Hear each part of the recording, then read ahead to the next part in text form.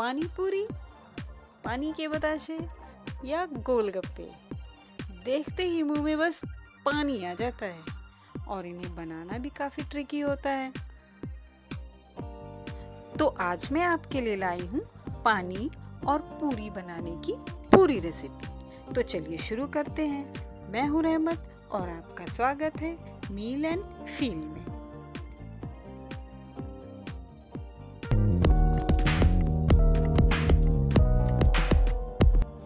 पूरी बनाने के लिए हमने एक कप गेहूँ का आटा लिया है और उसी कप से मेज़र करके आधा कप मैंने सूजी लिया है।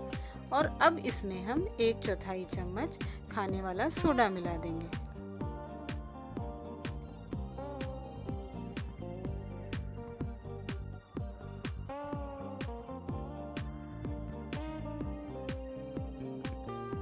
सबको अच्छे से मिलाने के बाद हम इसमें थोड़ा थोड़ा करके पानी मिलाएँगे और आटा गूंद लेंगे।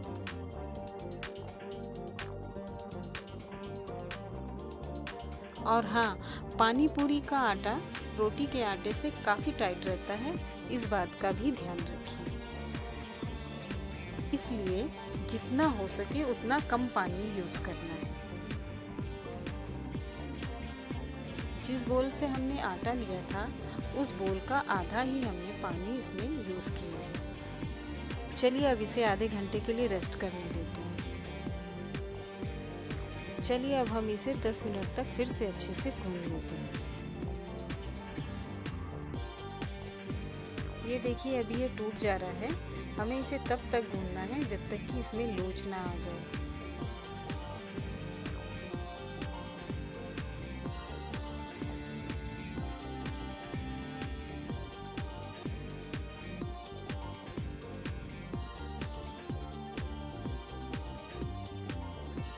ये देखिए, आटा जुड़ना शुरू हो गया है, मगर हमें इसे अभी और भूनना है।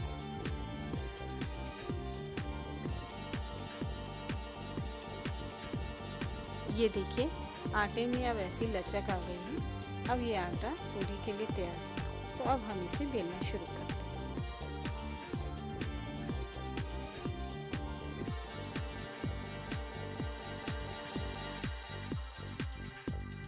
एक पेड़े को हम बेलेंगे और बाकी के आटे को हम गीले कपड़े से ढक कर रख देंगे।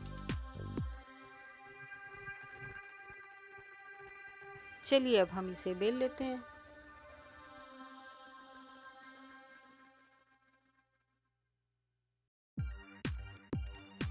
हमें ये रोटी से पतला, मगर स्प्रिंग रोल की शीट से थोड़ा मोटा बेलना है। ये देखिए, ये हो गया है। अब हम पूरियाँ कट कर लेते हैं।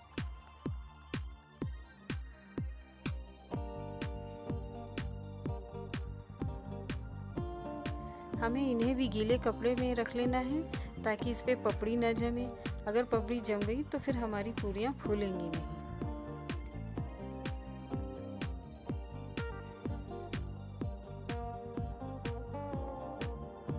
पूरी तलने में हमें फ्लेम का ख़ास ख्याल रखना है, क्योंकि तेल हमें बहुत ज़्यादा गर्म भी नहीं चाहिए और कम गर्म भी नहीं चाहिए। इसलिए टाइम टू टाइम हमें फ्लेम को मैनेज करना होगा।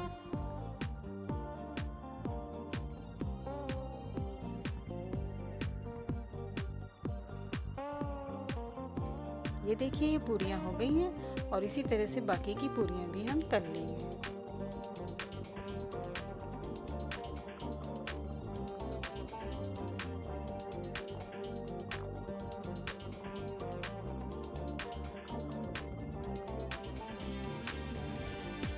पूरियाँ तो हो गई, अब हम पानी की तैयारी कर लेते हैं। तो हमने यहाँ एक कप धनिया लिया है। धनिया हमने उसकी डंडियों के साथ लिया है। क्योंकि उसकी डंडियों में भी काफ़ी टेस्ट होता है। और उसके बाद हमने आधा कप पुदीना लिया।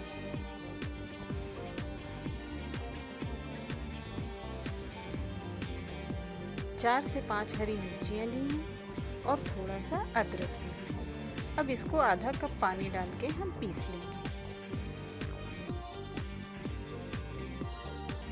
ये देखिए, हमारी चटनी तैयार है।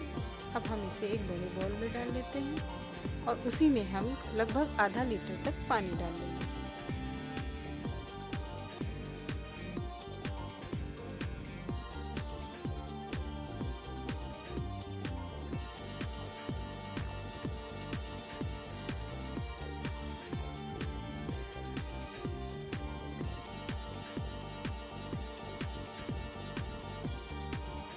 चलिए अब हम इसमें मसाले मिला लेते हैं। काला नमक, भुना ज़ीरा पाउडर, आमचूर, चाट मसाला, काली मिर्च पाउडर, लाल मिर्च पाउडर। चलिए अब हम इन्हें पानी में मिला लेते हैं।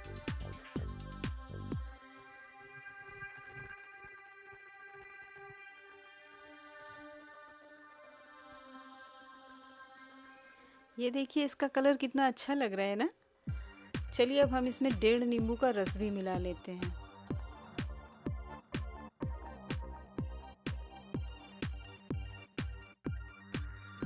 चलिए, अब हम इसमें बूंदी डाल देते हैं और ये हमारा पानी तैयार है।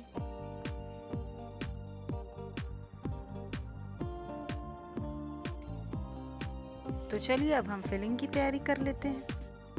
उबले आलू को मैश करके हम उसमें काला नमक मिला लेंगे। फिर उसमें उबले हुए चने डाल देंगे। उसके बाद हम प्याज मिला लेंगे, बारीक कटी हुई। हम इसमें थोड़े सेव भी मिला लेते हैं और सबको अच्छे से मिलाकर चलिए अब हम खाना शुरू करते हैं।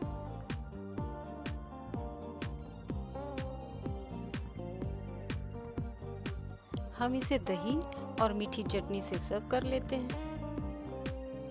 आप भी इसे ज़रूर ट्राई करें। तब तक के लिए खाते रहें, मस्त रहें।